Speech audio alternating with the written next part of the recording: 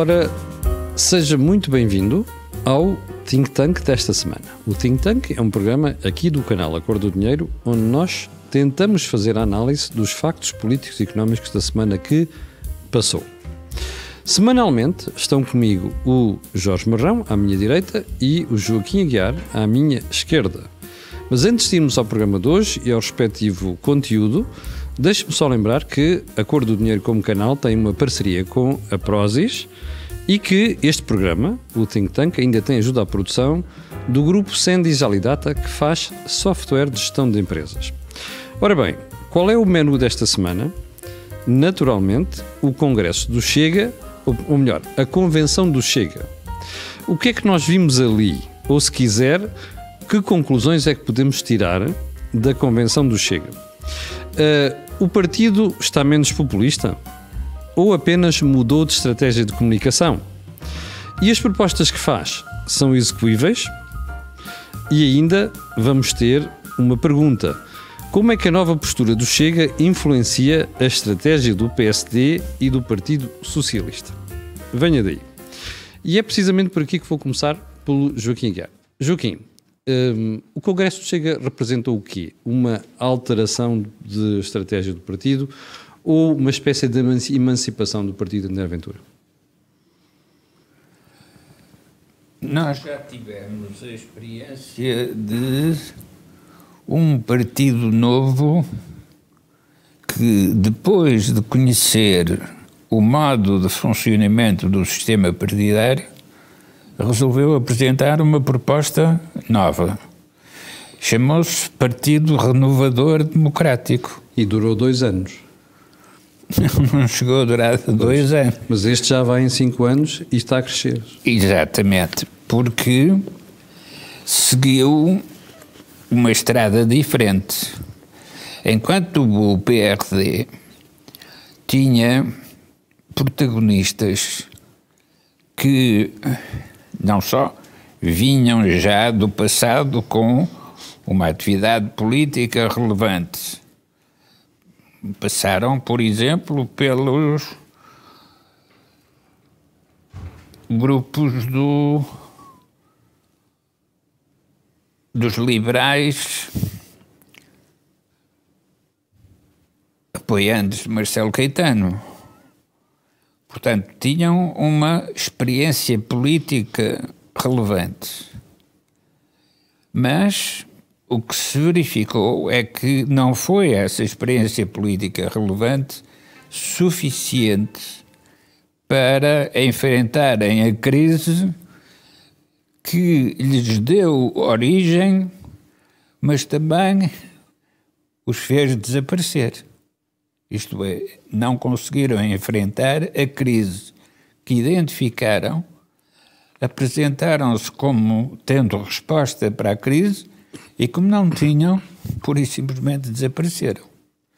Ora, um processo idêntico pode acontecer com o Chega. Isto é, a crise existe, mas se os protagonistas não sabem o que fazer com a crise, é a própria crise que os destrói.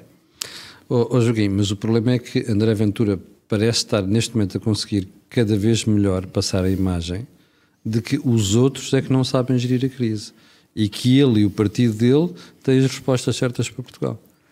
Ora, nós já sabemos algumas respostas e já podemos ter a certeza que ele não tem as respostas para a crise portuguesa. E nem sequer a compreende, porque a crise portuguesa é a crise de um vulcão que arrefeceu. Isto é, o vulcão tinha uma taxa de crescimento que era de facto relevante e significativa, foi impulsionada pela integração europeia, mas sobre esse processo do que foram as últimas duas décadas, o Chega não diz rigorosamente nada. Mas o, o, o aspecto mais, para mim mais interessante que o Joaquim acabou de dizer é quando diz que nem sequer percebe a crise. Não é não tem as soluções, nem sequer percebe a crise. Porquê é que diz isso? Quando se diz que o Chega é um partido xenófobo e de extrema-direita, está-se a identificar duas qualidades que já não têm nada a dizer na situação atual. Isto é, a xenofobia não tem, uh, não tem uh, futuro político, isto é, com os processos migratórios que já estão em desenvolvimento, com a alteração das tendências demográficas que já estão consolidadas, as alterações às tendências do passado. Não vamos voltar a ter essas tendências do passado. Oh, Joaquim, Ora, mas a sensação que eu tenho é que os, o, o André Ventura não diz que não deve haver imigração. Uh, a ideia com que fico, uh, que é contrária àquilo que é uh, a apreciação geral, é que a preocupação do André Ventura é selecionar a imigração. Ou estaria Sim. errado? Era, era bom que isso fosse possível, mas de facto não é.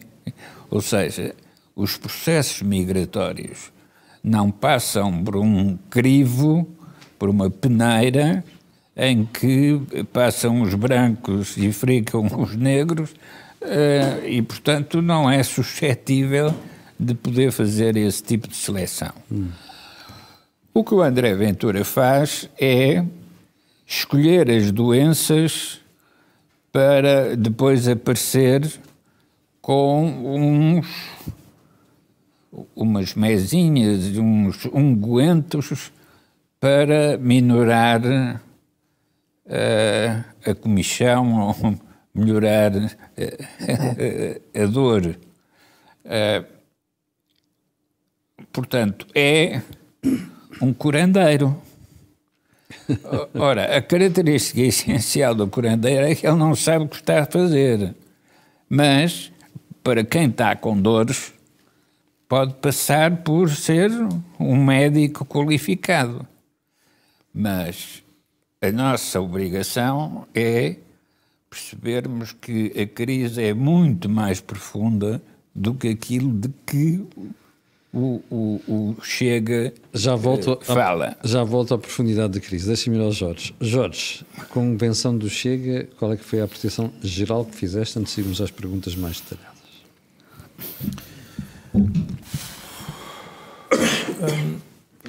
Eu julgo que se compreende bem a convenção do Chega através da reação da, dos mídias tradicionais. Um, Há muito a dizer. E porquê é que isto, porquê é que eu, eu digo que é importante as pessoas lerem os mídias tradicionais sobre o fenómeno Chega e André Ventura? A primeira pergunta que nós temos que responder é porquê é que o Chega nasceu? Porque os e porquê é que ele está a crescer? as preocupações que as pessoas começaram a ter.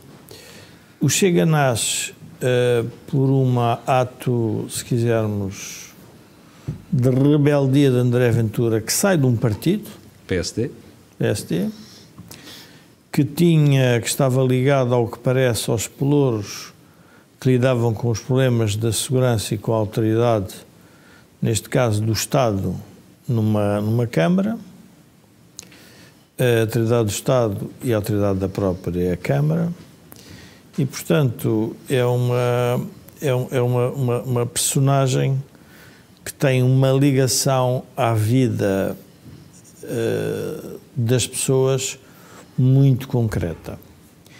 E e aparece com um discurso com um discurso que tem muito a ver e que eu acho interessante agora a imprensa vir dizer que ele está a esquecer esse discurso, que era o discurso da castração química, da prisão perpétua e dos ciganos.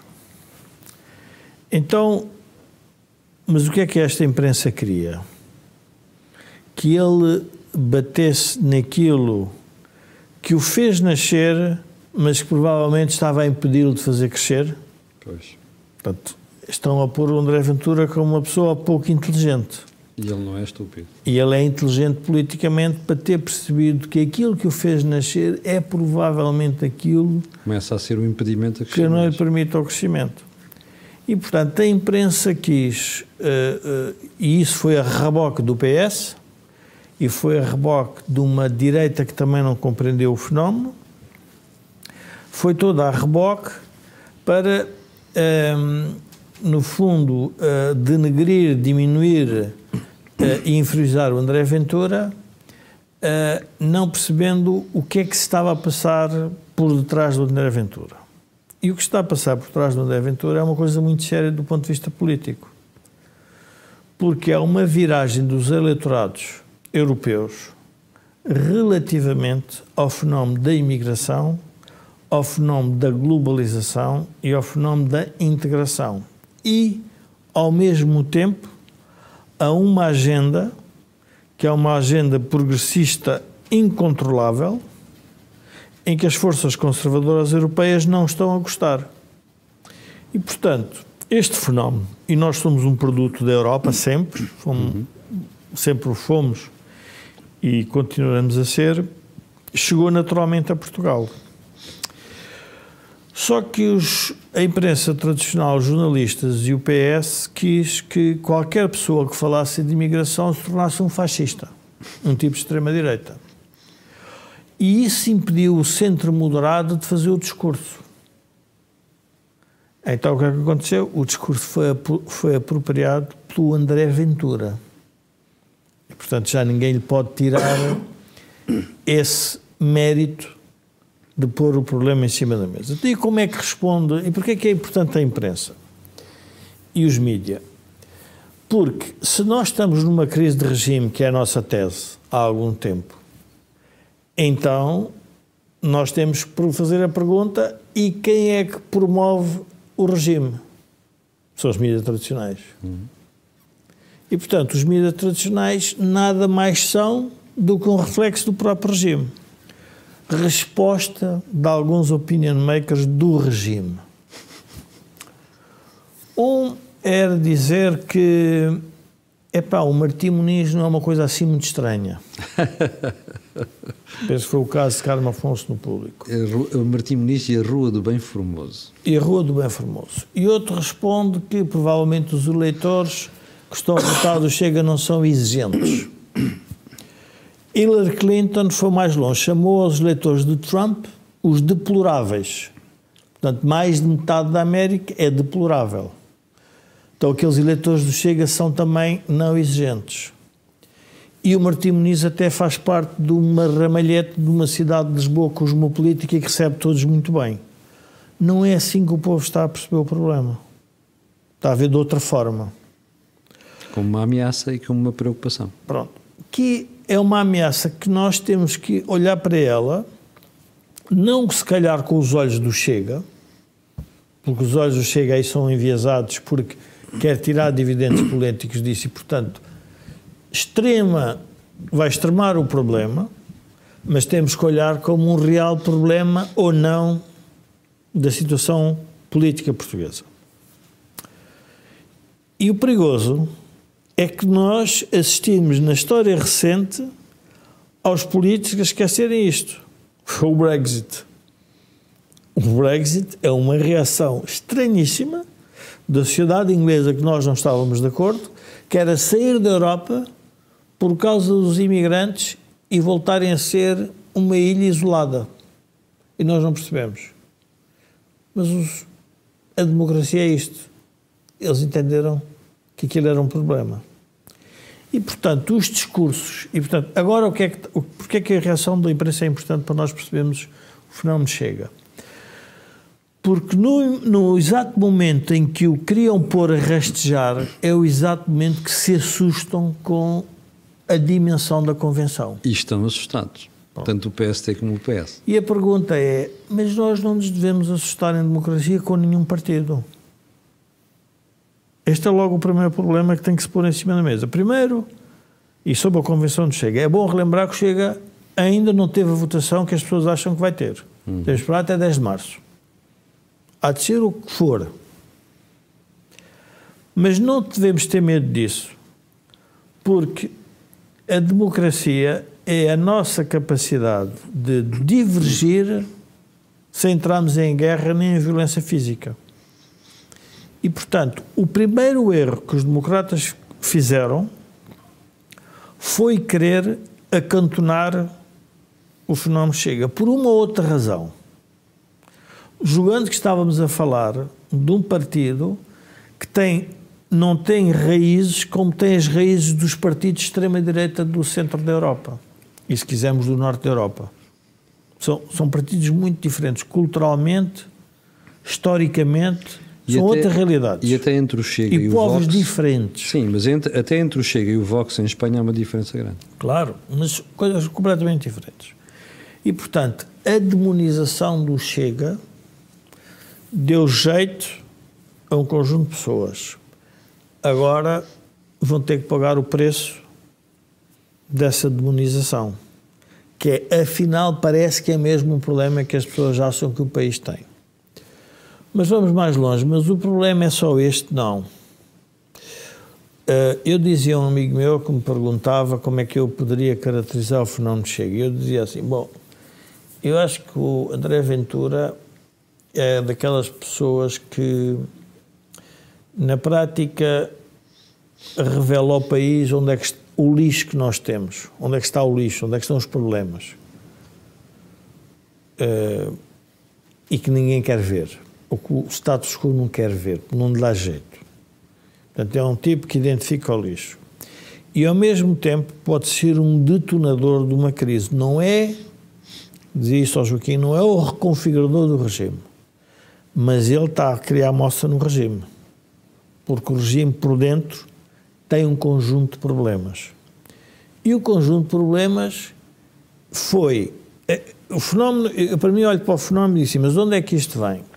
Vem das tendências europeias, vem da recusa do PSD a seguir a, a Pedro Passos Coelho de olhar de forma diferente para o que era o programa da Troika e, portanto, tentou-se refugiar e, portanto, deixou criar uma franja de pessoas que achavam que o PSD não estava a responder, basta ver os liberais e o fenómeno chega, portanto, é dali que saem portanto, é daquela zona política que sai, e também uh, de, uma, de, uma, de uma ideia que dava jeito ao, ao, ao, ao Partido Socialista, que era encontrar um inimigo uh, e que esse inimigo também, de alguma forma, destruiu a própria direita, se quisermos, a direita moderada, a direita elitista, que era o CDS.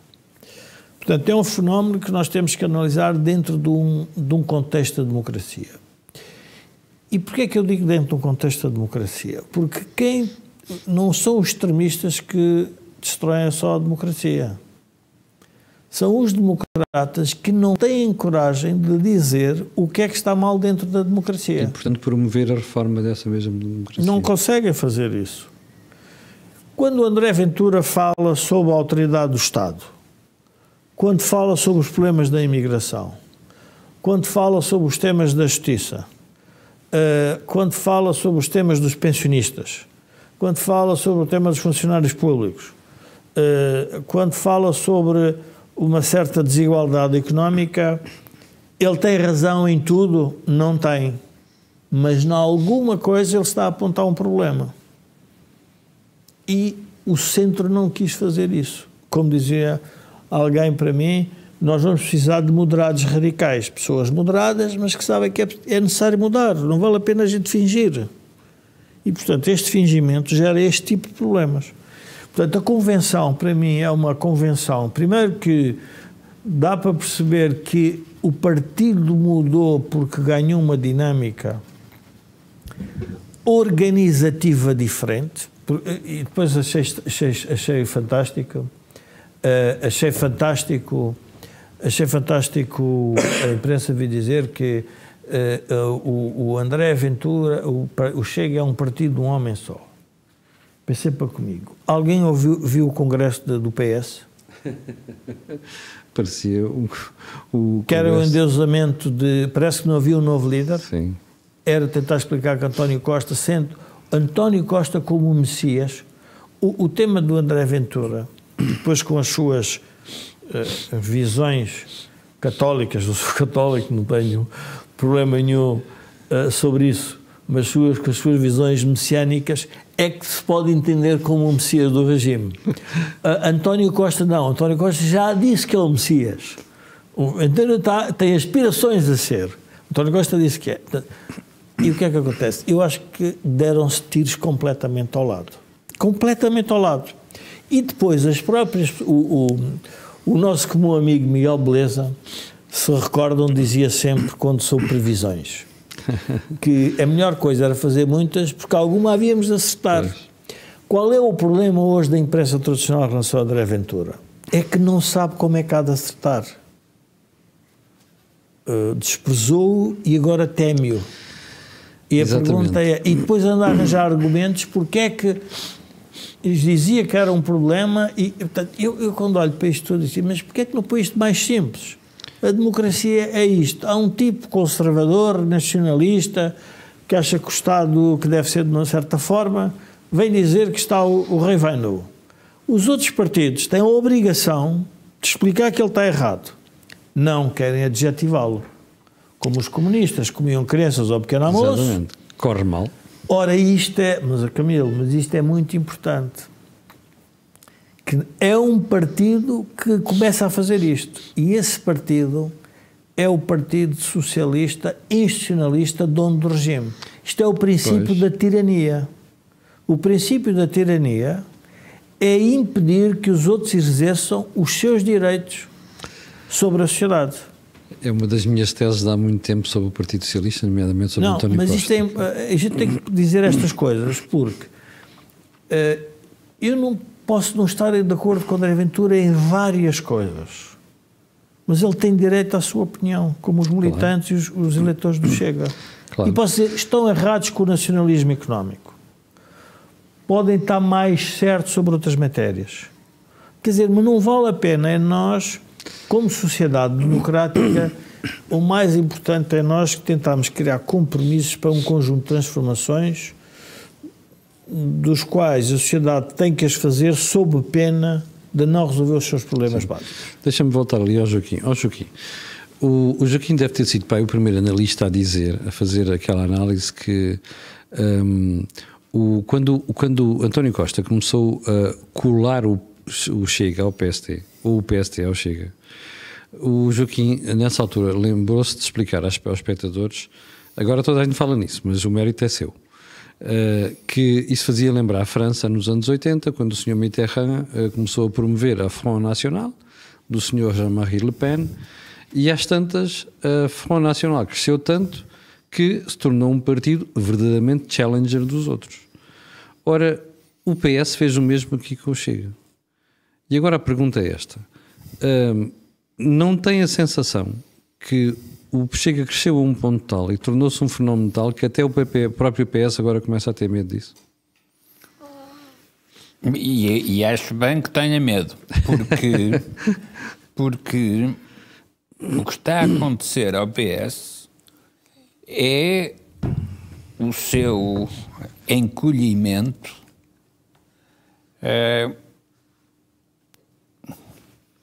por efeito das rugas isto é, é um partido que se tornou antigo antes de ter idade para ser antigo, mas que se confronta, como acontece aos idosos, que se confronta com a sua própria memória.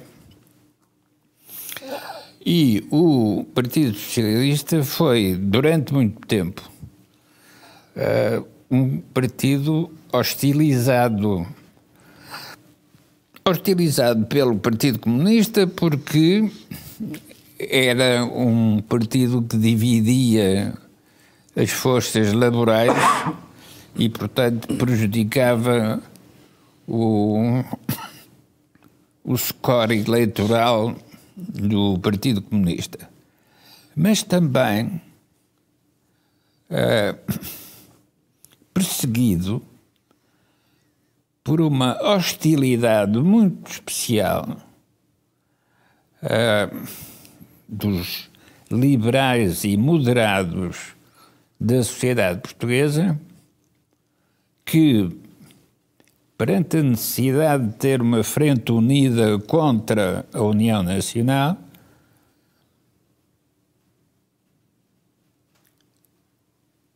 rejeitavam a proposta do Partido Socialista, Partido Republicano, Partido Democrático, os vários nomes dos partidos do Afonso Costa, com a sua tese que ou o Partido Democrático de Afonso Costa governa em Portugal, ou nenhum partido consegue governar. Ora, este princípio não foi adotado por Mário Soares, mas foi adotado por Salgado Zanha. E agora, e agora por António Costa. Sim, mas o, o, António Costa é como naquelas. É um funcionário, um empregado. É como naquelas paradas da GNR com cavalos, depois de passar a, a parada, vêm os limpadores da rua e, portanto. Essa foi forte. Têm de tratar dos resíduos da, da parada. Ah, e porquê é que eu digo isto? Porque, de facto, a política, no princípio, é uma tragédia, mas no fim é uma comédia.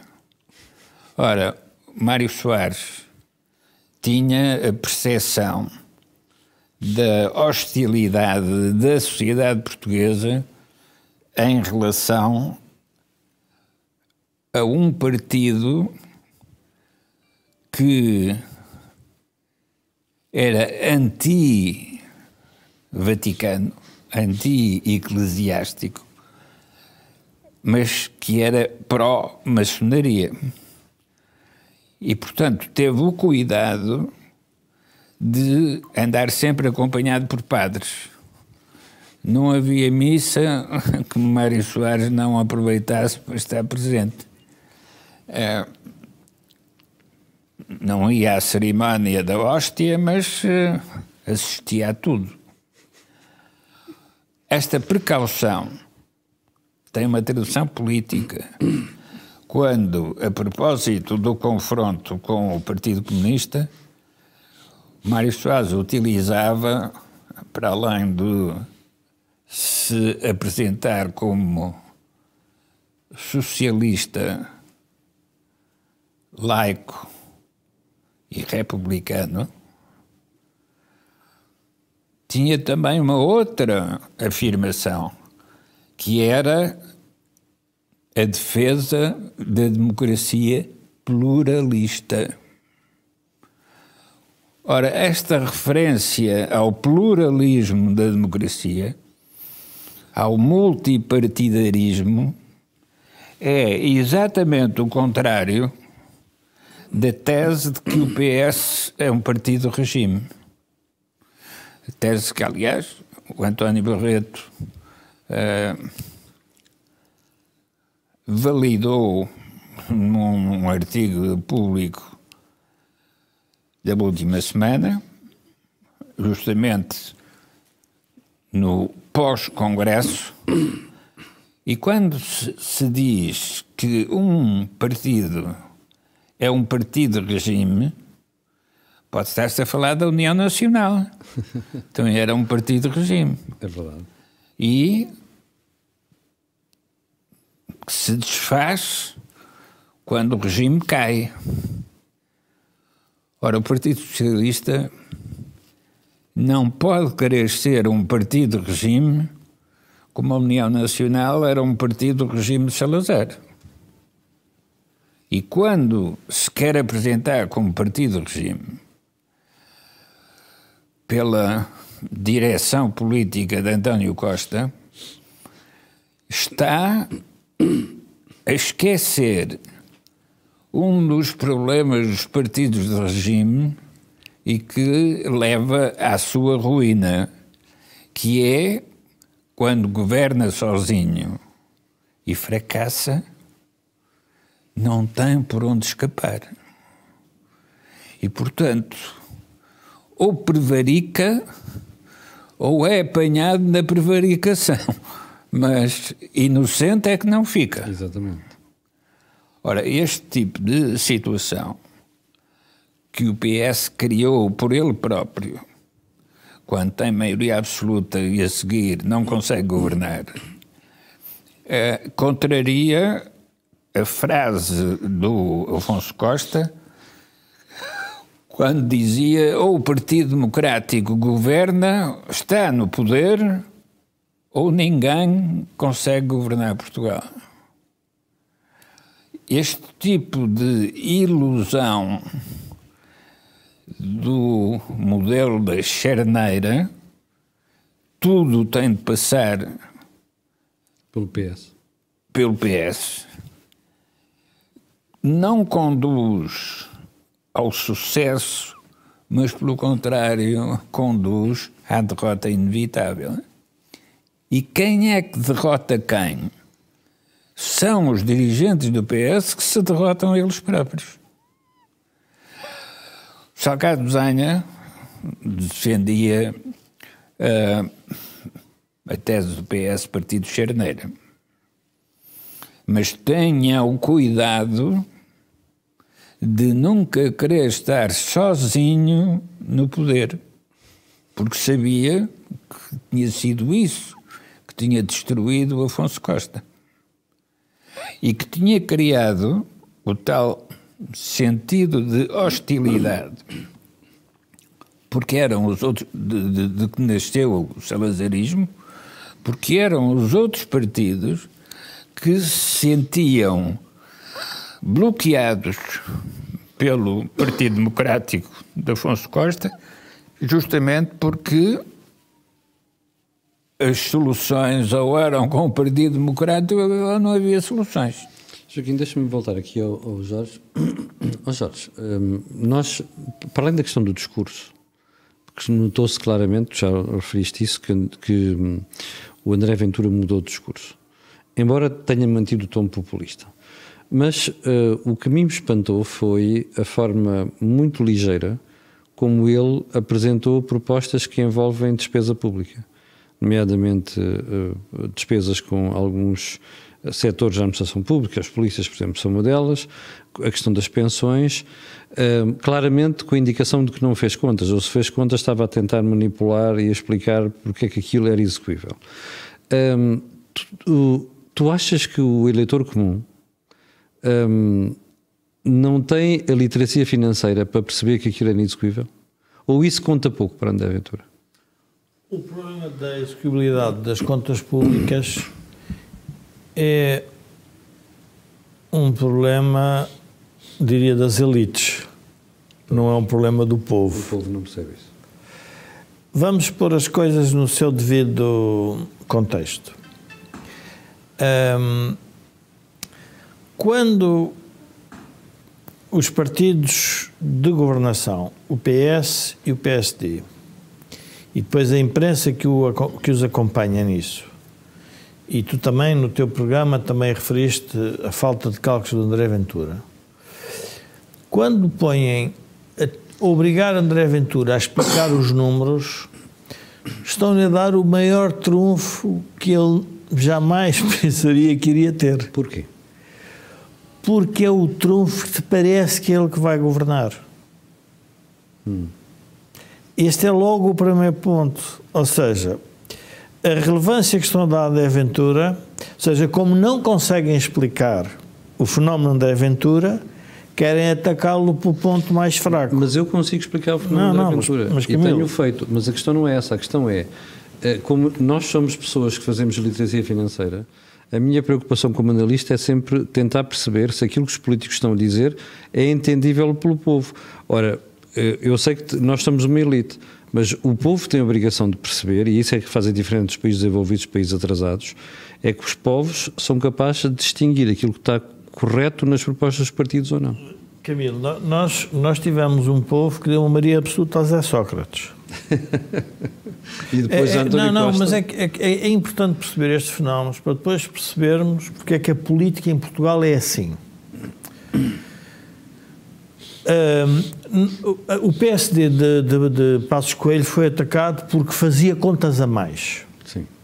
Há um líder da oposição que se torna primeiro-ministro deste país dizendo que ia reverter as contas da austeridade de Pedro Passos Coelho. E quando vai para lá, vai fazer contas de austeridade piores. De maneira diferente. De maneira diferente. Há uma coisa que os portugueses sabem, e não são parvos, não nos iludamos. Já sabem que o Orçamento de Estado, depois da experiência que tiveram nestes anos, tem um limite. Então, o que é que os, o que é que os, que é que os líderes partidários estão a fazer? Estão a apelar aos seus setores, às clientelas eleitorais. E qual é o problema com isso? É o normal. Normal. Mas não.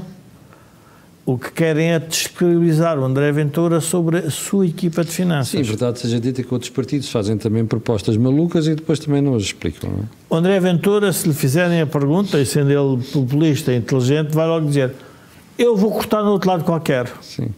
Porque se nós. Camila, é que é importante as pessoas perceberem isto. Se há despesa mais, que toda a gente está de acordo, mas que ninguém tem coragem de mexer, ele vai dizer: Eu vou dar àqueles que preciso. E vou cortar aonde não sei, quando lá chegar farei. O que eu vi perigoso foi darem relevância sobre a sua capacidade de intervir no Orçamento de Estado. Dizer, mas espera aí, então estão já a admitir que ele vai impor um conjunto de regras. Ora, isto revela o quê? Revela que o debate não é um debate político, um, um debate político de igualdade. É um debate político em que eu preciso ter este tipo como um outsider. Uh, isto é importante perceber porque é que as sociedades estão polarizadas hoje. Como é que é possível, da América, um provável presidente ser considerado pela outra parte como um outsider. Não deveria fazer parte do regime. Isto é a destruição total da democracia. Ora, a democracia é a capacidade de eu enfrentar o outro, assumindo que o outro faz parte também do regime que me dá a liberdade de eu discordar com ele. Não se quer aceitar isso. E, portanto, esta polarização da sociedade mata o debate e depois refugemos em adjetivos. Um porque é comunista, o outro porque é fascista, o outro porque é xenófobo, mas querem pôr nomes aqui. Eu estava a pensar, no, oh Camilo, admitamos que o povo português de repente tem uma, uma deriva mais extremista e dá uma grande votação ao Chega.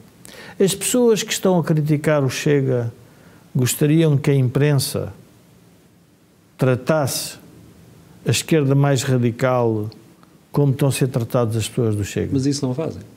Não, mas, oh Camilo, mas isso é que é importante, pessoas têm que perceber. Até por complexo no, no Alentejo que eu vivi muito tempo, eh, nas tascas está um, há um, se assim, uns ditados. Há lá um que é engraçado, que é desejo-te o dobro do que me desejas. Exatamente. Se me desejas bem, tens o dobro. Se me desejas mal, terás o dobro. As pessoas têm que se tratar com respeito recíproco, porque senão isto torna-se impossível a política.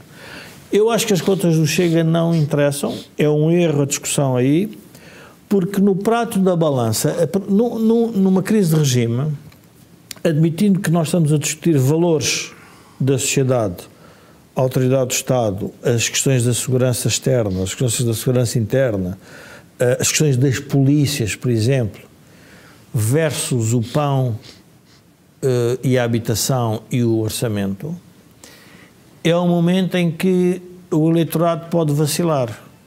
Não havendo crise de regime, não havendo crise de regime, é muito provável que o debate sobre, a, sobre, sobre o dinheiro é muito mais relevante. Mas havendo crise de regime, e toda a gente está de acordo que há um problema com a justiça, Há um problema com o funcionamento da justiça, há um problema com o funcionamento da autoridade do Estado, há um problema não com a imigração.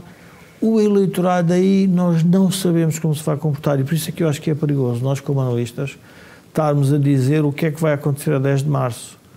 Porque é nestes momentos que os eleitorados tomam decisões que podem ser. Olha, eu não sei o que é que vai acontecer a 10 de março, Pronto. confesso. É, é então é melhor dizermos isso. Mas há um conjunto de pessoas eliminadas em Portugal que já sabem tudo o que é que vai acontecer. E que é isto, aquilo. Peraí, Vocês deixem, esperem. Não, então o que é que fazem? É com base nas sondagens. E depois usam as sondagens para interpretar o seu raciocínio, que já está ele próprio condicionado e pré-condicionado e viciado. Assim não aprendem com a situação. O que é que eu estou a aprender com o fenómeno Chega?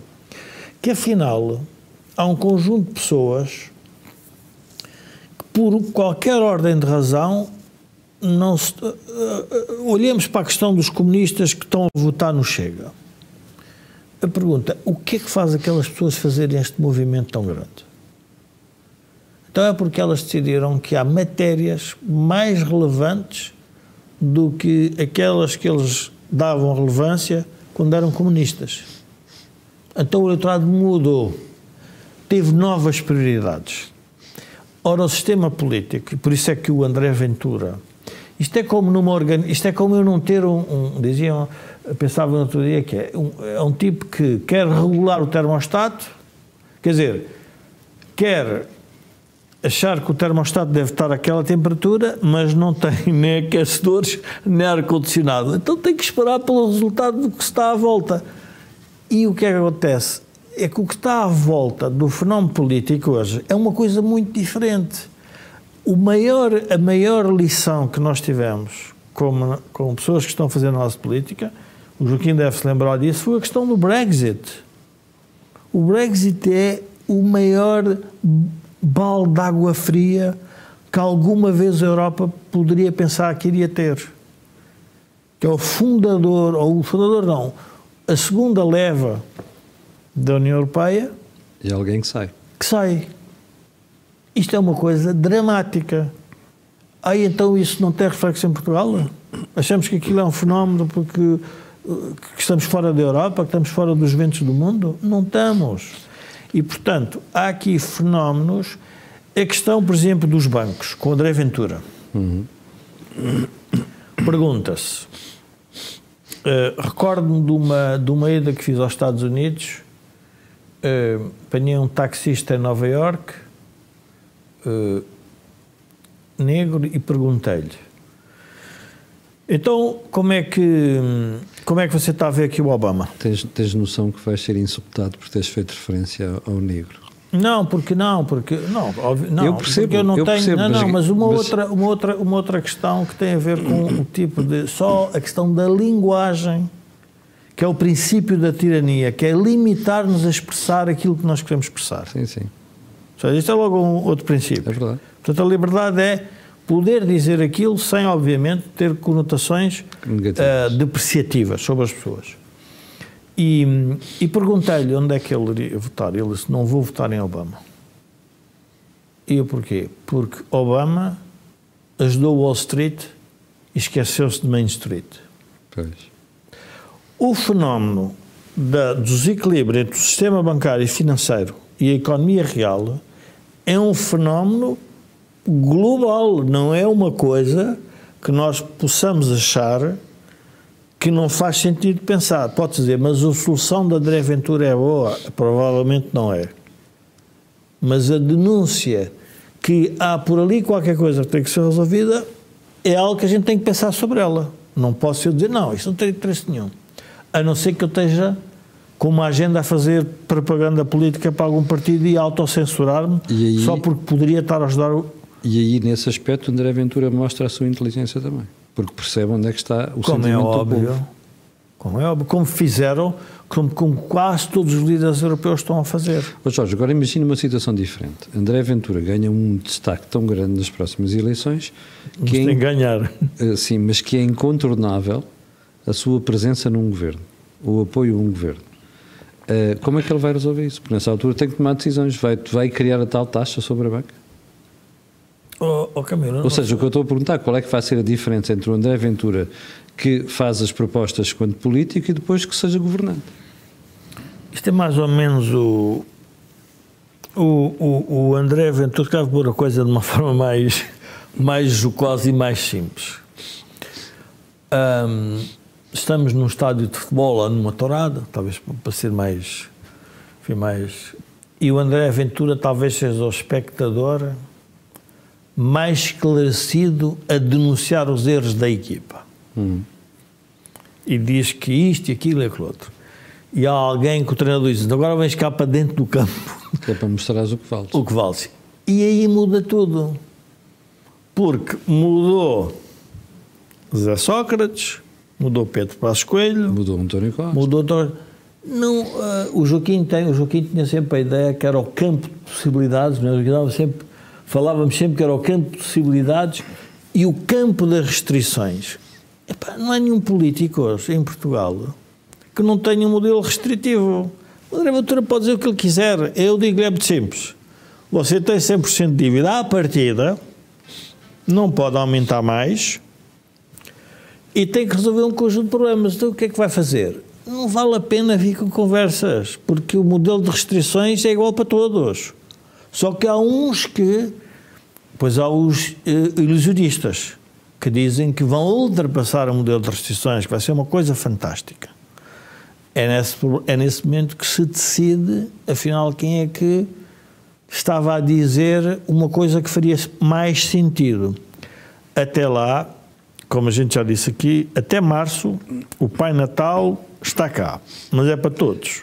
Portanto, o Pai Natal não vai sair das nossas vidas. E, portanto, nós vamos assistir isto tudo. Agora, não podemos é deixar de fazer análise sobre os temas que cada um está a eleger como relevantes. Ah, eu recebi numa, numa rede social um, um, já não sei quem é que produziu, um gráfico que era o eleitorado de acordo com uh, os seus, não era o seu rendimento, a origem dos seus rendimentos. Eram os funcionários públicos, os pensionistas, um, os funcionários públicos, os pensionistas, quem tinha o, o salário mínimo, e pensei para comigo, aquele, aquele gráfico é mostrado a todos os políticos. O que é que todos vão dizer? Uhum. As pensões têm que ser melhores, os funcionários públicos temos que cautelar os seus rendimentos. Claro. Um, o problema é depois pagar isso tudo. Pronto. Vai ser igual. É a discussão que ninguém Pronto, quer fazer. E, portanto, as pessoas vão ter que seguir. E eu acho que o povo nisso vai fazer o que, o que é normal, que é fazer essa, Joaquim, essa leitura. Esta nova postura do Chega vai obrigar o PS e o PSD a reformularem o seu posicionamento e a sua comunicação? Teoricamente, sim.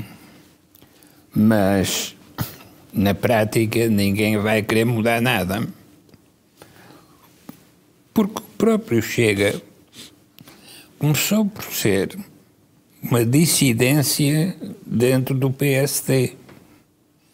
Isto é, é um grupo que considerava que a direção do PSD estava a ser demasiado tímida e demasiado comprometida com o seu adversário principal, uh, que era PS. E, portanto, quem sobressai desse confronto é apenas alguém que só sobressaiu porque era esse o confronto principal não sobressaiu, não salientou pelas suas ideias. Salientou-se pela sua diferença em relação às ideias dominantes. Hum. Ora, quem é isso nunca será um reformador. Sá Carneiro escolhia os conflitos para os agravar, para polarizar. Porque era essa a melhor maneira de responder àquilo que era a estratégia do PS de colar o PSD à direita, para ficar o PS com a liberdade de ser a esquerda. Ora, este tipo de habilidade significa que grande parte da política é feita pelos adversários, porque são os adversários que estabelecem o contraste com a nossa posição. O reformador é aquele que consegue estimular críticas e ataques a que possa responder para aparecer como o vitorioso desse confronto. E quem dirige, e para ser reformador é preciso ter capacidade de direção, quem dirige é justamente quem tem esta capacidade de atuar no campo de possibilidades, mostrando quem está certo, quem está errado. E o que é que vai acontecer então ao discurso do PS e do PSD? O discurso do PS já está a ser um discurso defensivo. Uh, isto é, cada, cada um que aparece já aparece para pegar naquilo que foi a sua última vitória. E não há dúvida que o PS, quando consegue uma maioria absoluta de um só partido, já depois de estar vários anos no governo, é um resultado interessante. Só que este resultado interessante caiu-lhe em cima como uma árvore natal que cai em cima do dono da casa. Claro que a árvore natal era dele, mas caiu em cima dele. Sim. E isto é uma precaução que eu diria que é natural na política. Sendo o poder um lugar desejado, é naturalmente uma cadeira com pregos, se não alfinetes. E, portanto, quem se senta, pica-se. É preciso que, antes de se sentar, já saiba isto para não ficar surpreendido quando sete os alfinetes ou os pregos. É preciso ter algum passado político para ter passado por essas experiências. Mas quem não tem passado político, ao menos pode ter observação do passado dos outros. Deixa-me perguntar ao Jorge também. Jorge, achas que o PST, qual é o desafio para o PST e o PS agora? Eu, eu julgo que o Joaquim está a ver a lógica do PS está com um discurso defensivo e eu acho que está num discurso até... Derrotado. Porquê é que diz isso? Derrotado. Porque, Camilo, quando as pessoas do centro, moderadas, são obrigadas a responder sobre um tema que foi o André Ventura que trouxe para cima da mesa, então significa que ele ganhou porque fixou a agenda. É verdade. E, portanto... Isso notou-se no mesmo dia da convenção, quando Pedro claro, Santos cometeu o erro de responder a André Ventura. Estão a ir todos atrás do prejuízo. É verdade. Agora querem falar de corrupção, agora querem falar de justiça, agora querem falar a autoridade do Estado, agora querem falar da imigração. Portanto, já está tudo atrás do prejuízo. E, portanto, é esse o sentido da derrota. Porque é um sentido em que, afinal, porque a política não é só resolver os problemas de hoje, é antecipar e permitir que as pessoas percebam como é que se resolvem os problemas do futuro. Qual é o, um, um dos problemas das instituições que nós temos que voltar a repensar em Portugal. Como é que Zé Sócrates conseguiu levar o país à bancarrota com tantas instituições de escrutínio? Sim. O partido, o Parlamento, o Presidente da República, o Tribunal de Contas, os jornalistas, o Banco de Portugal. Como é que se conseguiu fazer isto? Então não funcionou o sistema.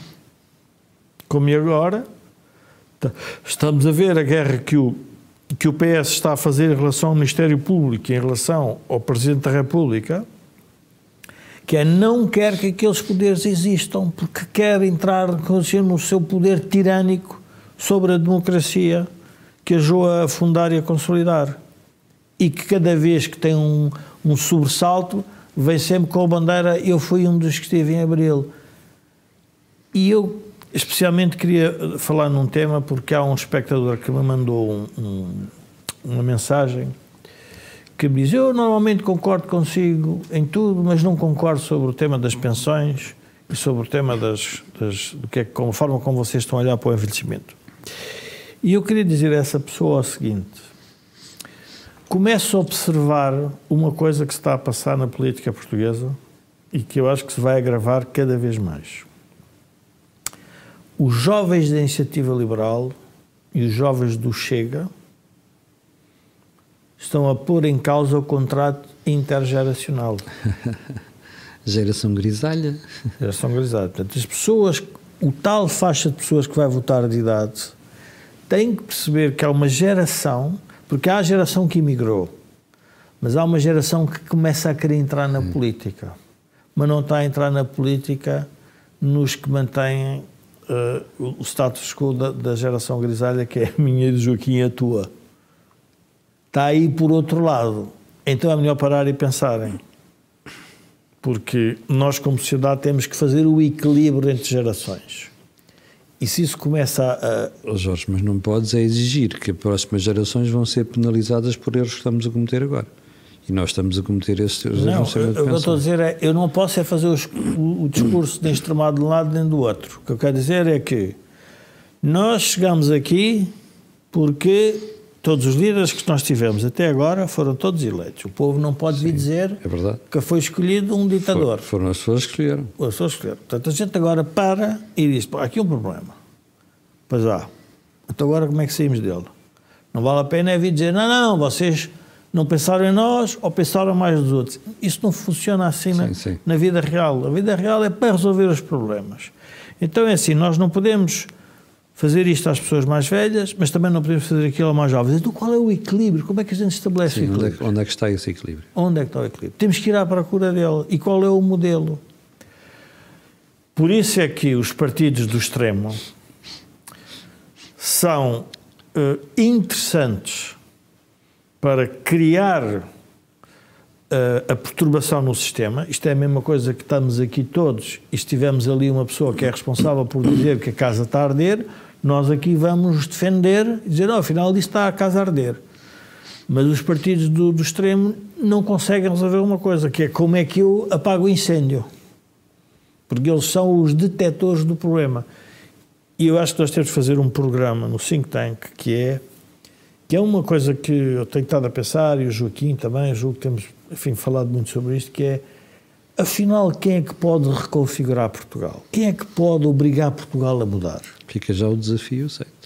Não, mas, mas é uma coisa relevante, é porque verdade, é. já percebemos que temos partidos suficientes para levantar os problemas que temos, quer da esquerda, quer Agora à direita. é preciso partidos que resolvam os problemas, não é só levantar os problemas. Agora é preciso que tenham a coragem de enfrentar os seus próprios eleitorados. Claro, e dizer as soluções são estas. As soluções, meus senhores, são estas. Epá, não sei se podem contar tudo nas eleições, porque as pessoas não querem ouvir tudo, mas as pessoas não são... Idiotas não são idiotas e temos que admitir que algumas delas, e por isso é que nós vimos as mudanças eleitorais, é porque as pessoas foram pensando ao longo do tempo. Um, há sempre uma casta, que é a casta dos eliminados, mas como dizia o filósofo, o político o pensador Isaias Berlin, Cuidado porque as pessoas mais preparadas e mais inteligentes foram as criar as maiores atrocidades no mundo é com as suas decisões. Tem toda a razão. Bom, uh, chegamos ao final do programa de hoje. Uh, quero agradecer a quem está desse lado, e estão muitas pessoas, estamos aqui com um recorde de pessoas, uh, já há uns meses não atingíamos. Um, e quero dizer que nós voltaremos na próxima terça-feira. Um, mas antes de irmos embora, quero só lembrar que o canal A Cor do Dinheiro tem uma parceria com a Prozis e que este programa ainda tem ajudado a produção do grupo Sendis Alidata, que faz software de gestão de empresas. Fique bem, para o final, é o pedido sempre: colocar um gosto, fazer partilha nas redes sociais e subscrever o canal. A razão, você já a conhece, aquilo que houve aqui não houve em mais lado nenhum. Eu e você temos encontro marcado para amanhã às 8 da manhã. Muito obrigado, com licença.